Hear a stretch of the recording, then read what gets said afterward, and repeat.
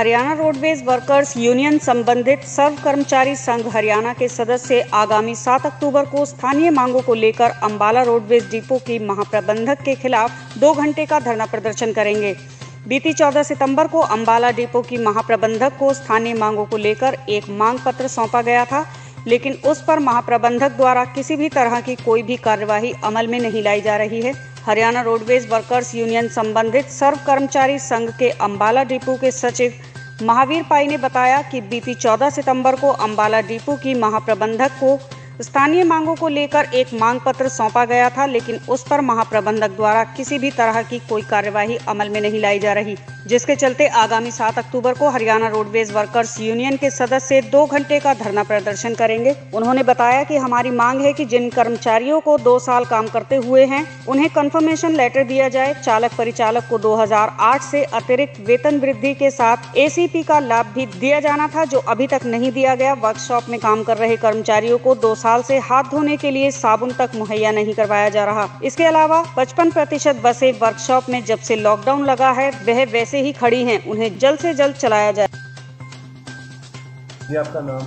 मेरा नाम Mahavir Pai Haryana roadways worker union संबंधित सर्व कर्मचारी संघ हरियाणा का डिपो सचिव। आज का जो प्रेस कॉन्फ्रेंस करने का हमारा उद्देश्य है अपनी स्थानीय मांगों को लेकर के हमने महाप्रबंधक अम्बाड़ा को अपना ज्ञापन सौंपा था पिछली चौदह तारीख को।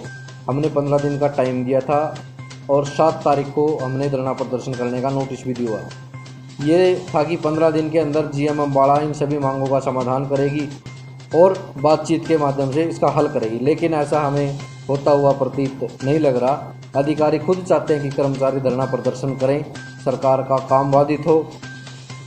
और इसमें हमारी कोई ज़्यादा बड़ी भी मांगे नहीं है छोटी छोटी मांगे हैं, जो महाप्रबंधक अम्बाड़ा के लेवल की हैं। कर्म कर्मचारियों को कंफर्म करने की बात है, जिसमें किसी भी प्रकार का कोई पैसा नहीं बढ़ना। एसीपी का लाभ देने की बात है, जो आठ साल के बाद मिलता है। 2008 के चालक परिचालक को अतिरिक्त वेतन वृद्धि 2016 के पेश के वेतन मान दिया जाना था। उसकी बात है, उसकी नहीं दी गई। इसके अलावा जो चालक परिचालक है, उसकी दुर्घटना हो जाती है रोड के ऊपर चलते हुए। उसकी जो ड्यूटी का जो टाइम है, उसको ड्यूटी मानने की बात है। जबकि विभाग द्वारा उसकी छुट्टियाँ काट ली जाती है मेडिकल लीव काट ली जाती है रंट लीव काट ली जाती हैं। ऑन रोड दुर्घटना होने पर चालक की जमानत कराने की बात है। डिपार्टमेंट अपने बस की जमानत तो करवा लेता है, लेकिन जो चालक की जमानत है, उसके घर वालों को करवानी पड़ती है, उसको खुद करवानी पड़ती है, या फिर यूनियन उसमें अपना योगदान करती है। इसके अलावा वर्कशॉप में काम करने वाले जो कच्चे कर्मचारी हैं दो दो तीन तीन महीने से उनकी सैलरी नहीं मिली।